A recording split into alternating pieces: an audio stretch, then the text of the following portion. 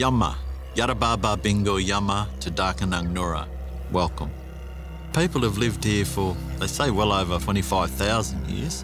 These lagoon waterways are actually very important, and these were a rich food source for Aboriginal people. And this is where they would erect their gunyas and then they would live off the seafoods. The waterways were places we also gathered for ceremony, for song and dance, and just as families gather today on these beautiful shorelines. The arrival of European settlers in the 1800s brought massive changes to the environment around Avoca Lagoon.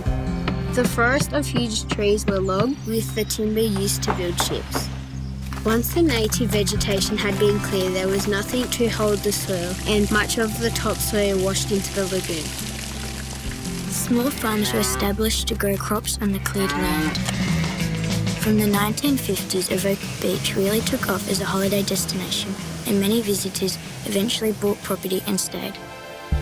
Each house was serviced by septic tanks and highly enriched water flowed into the lagoon after heavy rainfall, encouraging the growth of algae. All of these incremental changes have resulted in reduced water quality in our lagoon. Most of the water in the lagoon comes from the catchment. Whatever flows from the land ends up in the lagoon. If you live here,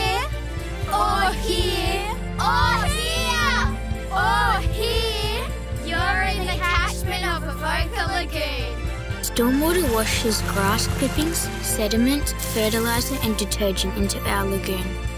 What we do on the land affects the quality of our lagoon. We need to look after the whole catchment.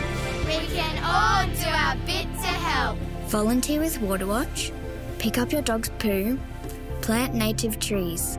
Remember, if it's on the ground, it's in our waterways. Hopefully, that we can um, continue to look after them and protect them and preserve them.